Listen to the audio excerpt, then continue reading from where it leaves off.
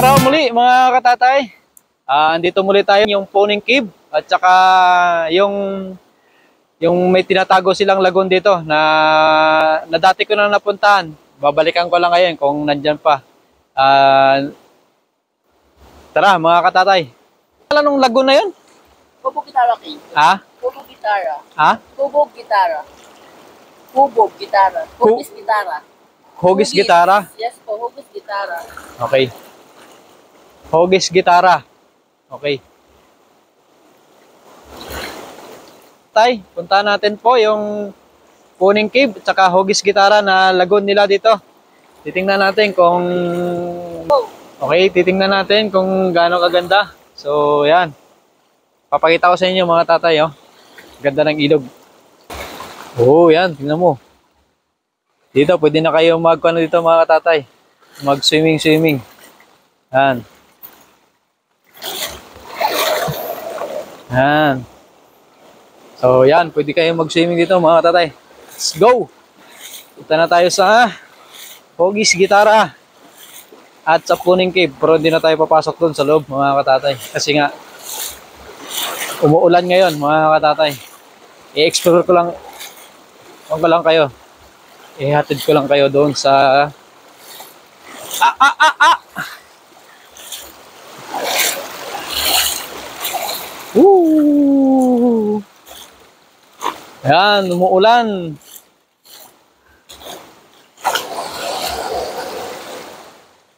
Let's go mga katatay. Yan. Hogis Gitara Lagoon. Yan, yung tinatawag nila dito. Tsaka yung Poning Cave. Mamaya, tingnan mga tatay, umuulan. Kahit tumuulan, tuloy ang vlogging ni tatay dyan. Para sa inyo, para sa mga bagong lugar na pwede niyong puntahan. Dito lang po yan sa Doña Remedios Trinidad, mga katatay. Raining man, hallelujah. Ay, tingnan mo pa tatay, oh. Ganda. Ito na yan, di ba? Oh, okay. Andito na po tayo sa Yansakan. Sa ang unang makikita nyo dito mga katatay, isang hugis gitara. Uh, pero doon pa yun sa taas mga katatay. Lakas ang agos ng tubig. Yan o.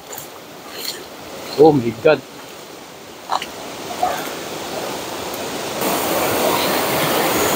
Kaya po, nandito na po tayo mga katatay. At tinatawag silang hugis gitara. Oh, may mga paddles din dito, yan oh.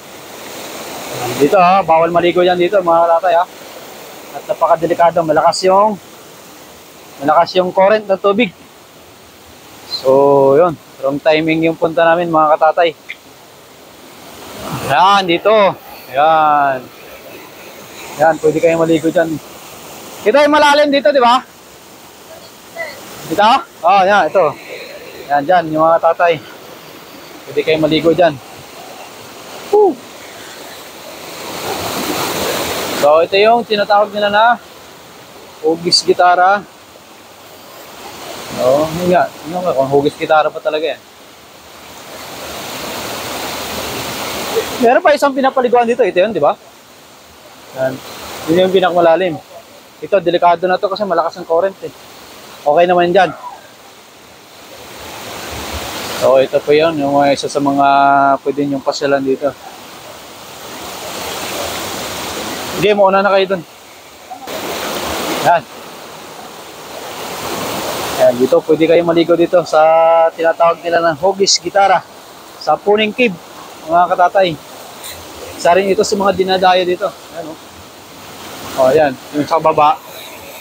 Yan. Mamaya, maliligo tayo dyan, mga tatay. Yan. Ooh. Ayan, yung hugis gitara dito, mga katatay. Grabe, ang lalaki ng mga baliti dito. Delikado to ah. Nakakatakot. Wow! Ah. Ayun mga tatay, pagkatapos kong maipakita sa inyo yung hugis gitara spring, didiretso naman tayo sa sa Puning Cave. So, pag pumunta kayo ng Puning Cave, ito yung madadaanan nyo dito mga katatay. oh. Sulit mga katatay yung vlogging natin today. Kahit umuulan, tuloy. Wow, sana magustuhan niyo yung inyong makikita dito. oh. Sulit. Ayan mo. Yan, umuulan yan mga katatay. Lalaki, lalaki ang mga puno dito. oh. Woo! Yan mga katatay. Lapit-lapit na tayo sa Puring Cave. Ganyan lang po mag-explore ng lugar. Rain or shine. Diba?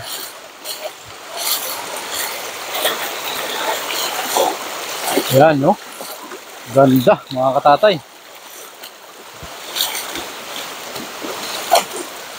Ito na yun, di ba? Oh, so nandito na po tayo ngayon, mga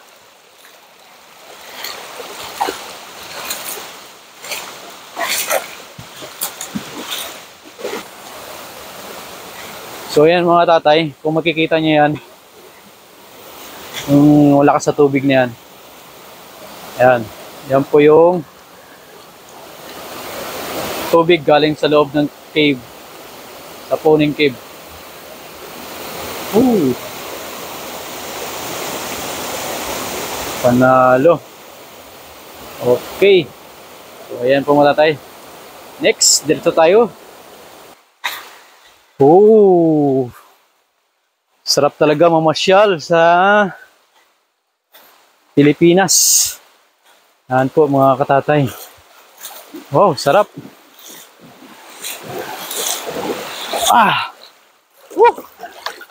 Bante.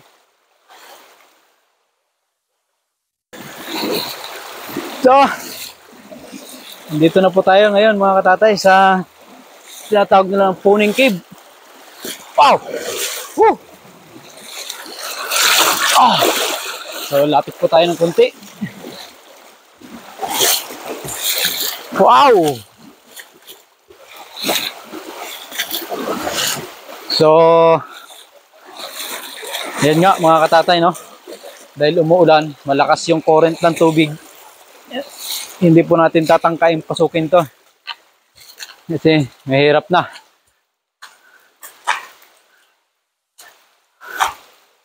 Yan. Uh, ganda. Yun ka.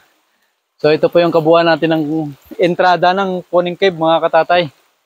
Katulad ng sabi ko kanina, hindi po natin tatangkain pasukin kasi malakas yung current ng tubig at umuulan. So medyo delikado po. So kuya, mga pag in-explore natin yan, mga ilang minuto yan. 3 hours po. Isang oras. Ang cave natin is 1.8 kilometers po ang haba. Ah, Bali po sa oras lang hapon po. balikan na yon. Opo, ano pa po? Bali po, 1 hour sa oras lang hati po. Papakulang po doon. Tapos kapag ba natin, ganun pa rin po. Ah, Kasi po, 1.8 kilometers po ang loob na. ibig sabihin, 3 hours. Yes po. So yun mga tatay, no? Ah, pag in-explore niyo itong loob, aabutin po kayo ng 3 hours. So, kung gusto niyo talaga na magandang magandang kalalabasan ng inyong explore, ah, magdala po kayo ng malilinaw na flashlight. Siyempre, ah, sulitin nyo na yung 3 hours sa loob. Pero ngayon, di namin talaga tatangkayin kasi nga malakas ang current ng tubig. Ah, sayang. Di ba ang kabila nito is biyak na bato na? Ah, hindi pa. Ah, so yan po yung mga tatay, no? Naway may bago na naman akong nahatid sa inyong lugar na pwede niyong pasyalan pag kayo nai-stress at mga, alam niyo na, maraming problema, stress sa Maynila, sa traffic. So, ito lang. I-enjoy niyo lang ang buhay mga katatay. Huwag kayong magpaka-stress. So, God bless po sa ating lahat. Sana'y patuloy niyo pong suportahan ang Tatay Jan Vlog.